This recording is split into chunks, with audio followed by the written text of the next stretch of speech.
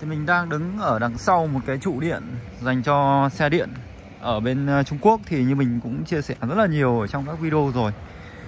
Ở tất cả các cái nơi ví dụ như là trạm xăng, rồi các cái chỗ làm việc như là công sở, rồi công ty, rồi các kiểu, thì gần như là chỗ nào cũng được trang bị đầy đủ hết cái trụ sạc dành cho xe điện và nó đều dùng cái tiêu chuẩn chung, tức là có thể sạc cho tất cả các loại xe điện thì đây cũng chính là lý do tại sao mà xe điện ở Trung Quốc nó rất là phát triển.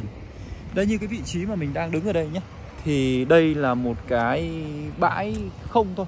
Cái cạnh nó là một cái hồ. Thì cái chỗ này nó chỉ là cái khu vực ngoại ô thôi. Nó gần như là cũng không có người đi lại mấy. Nhưng mà nó cũng có một cái trụ sạc đây các bạn. Có thể nhìn thấy thì gần như là tất cả những cái vị trí mà liên quan đến nơi công cộng thì đều được trang bị trụ sạc rất là đầy đủ rồi thì theo mình thì cái lý do mà để xe điện nó phát triển đấy thì đầu tiên là phải phát triển cái hệ thống uh, cho xe điện. Đấy chính là cái các cái trạm sạc điện công cộng. Đó. Tất nhiên là khi mà mình mua mình mua xe điện thì mình mình có thể là các cái các cái nhà sản xuất xe điện họ cũng đã tính đến việc là cung cấp cho người tiêu dùng những cái trụ sạc của cái hãng đấy. Tuy nhiên là cái mức độ phổ biến nó ít sẽ dẫn đến là cái cái sự cản trở nó rất là lớn. Còn riêng đối với thị trường Trung Quốc thì mình thấy rằng là việc mà bạn có nhu cầu sạc xe điện nó quá là đơn giản. Chỗ nào cũng có, gần như tất cả các vị trí. Cứ chỗ nào công cộng là sẽ có. Bến xe rồi ờ, cạnh chợ rồi các kiểu. Chỗ nào cũng có. Dưới hầm để xe. Thì đây là một cái ví dụ này. Đây có một cái trụ này. Đây có một cái trụ này. Gần như cái chỗ này nó sẽ có một, hai và bốn bốn cái trụ hào sạc. Đây có hai con xe đang sạc này. thì mình xem đây là con xe điện cái hãng gì nhé cái hãng này thì không biết tên tuổi nó là gì. Còn cái ờ, à Betun Betun, con này giá rất là rẻ. Còn ờ, con bên cạnh là BD BD thì gần như nó là cái thương hiệu xe mà có cái thị phần lớn nhất ở Trung Quốc ở cái thời điểm hiện tại này rồi về cái về cái mảng xe điện thì BD nó gọi là số 1 của Trung Quốc. Còn thế giới thì mình cũng không biết nó như nào cả. Còn uh, phía xa xa đây của mình. Phía xa xa đây để mình xem nó là con xe điện của hãng nào. Con này logo nhìn quen quen. Đây con này là con của Mercedes.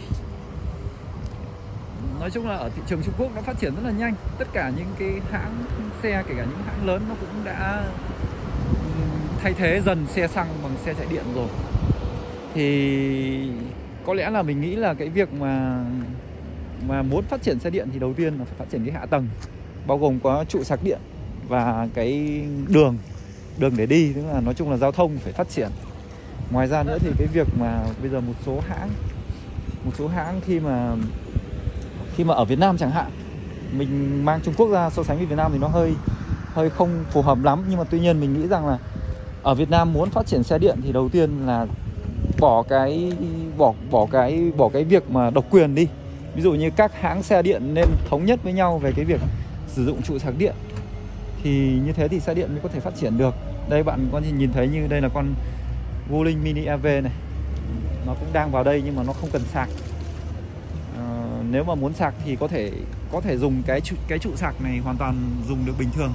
Vì nó đều theo cái cái chuẩn giống nhau hết nó và nó không có không có độc quyền hay cái gì cả. Thì cách sạc nó cũng rất là đơn giản. Bạn chỉ cần quét mã We WePay WeChat để thanh toán. Xong rồi bạn sẽ được sạc. Đó cực kỳ đơn giản. Đây nó chỉ là một cái vùng ở ngoại ô chứ nó không phải trung tâm thành phố. Chứ nếu mà bạn đến trung tâm thành phố thì bạn vào các trung tâm thương mại hoặc bạn ra bất cứ cái chỗ nào đỗ xe được thì thông thường là đều có chỗ để sạc mình cho xe điện. Có nghĩa là cái việc mà ở Trung Quốc mà bạn mua xe điện thì khỏi phải lo đến cái chỗ mà không có chỗ để sạc. Chỉ lo có tiền để mua hay không và có tiền để sạc xe để chạy hay không thôi.